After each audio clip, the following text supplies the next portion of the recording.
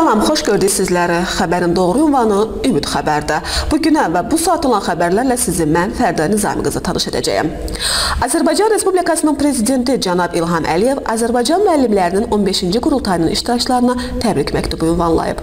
Məlumata görə məktubu prezident administrasiyasının humanitar siyasi məsələlər şöbəsinin müdiri Fərəh Əliyev oxuyub. Türkiyə prezidenti Rəcəb Tayyib Ərdoğan öz səlahiyyətlərini qısa müddətli olaraq təhvil verib. Verilən məlumata görə bir həftə ərzində onun səlahiyyətlərini vitse-prezident Fuad Oqtay icra edəcək. Buna səbəb kimi prezident noyabrın 28-dən dekabrın 4-nədək Praqvay və Venezuelaya bir həftəlik səfəri göstərilib.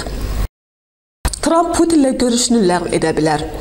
Amerika Birləşmiş Ştatlarının prezidenti Donald Trump Rusiyalı həmkarı Vladimir Putinlə Argentinadakı mümkün görüşünün Kerç boğazındakı vəziyyət səbəbindən ləğv edə biləcəyini deyib. Mənbələr xəbər verir ki, bununla bağlı The Washington Post nəşrinə müsahibəsində məlumat verib. Bugün Gürcüstanda prezident seçkilərinin ikinci turu keçirilir. Məlumata görə yerli vaxtla 08:00-dan etibarən səsvermə prosesinə start verilib. Vətəndaşların rahat səs verməsi üçün 3703 seçki məntəqəsi yaradılıb. Səsvermə günün sonunadək davam etdiriləcək.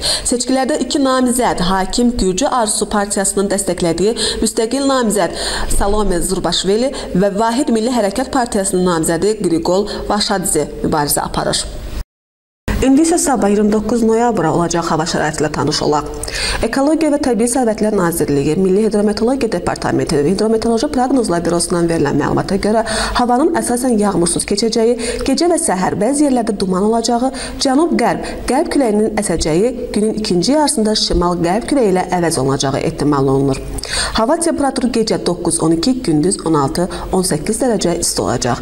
Evdən çıxarkən çətirlərinizi götürməyə ehtiyac olmasa da ehtiyat igidinin yaraşığıdır. Ehtiyatınızı tutun ki, xəstələnməyəsiniz. Təsadüfi gələn yağışlara və soyuqlara qurban getməyəsiniz. Biz sadəcə olaraq proqnozu dedik, amma nəyin, nə zaman, necə olacağını isə Allahdan başqa heç kim düzgün proqnoz edə bilməz.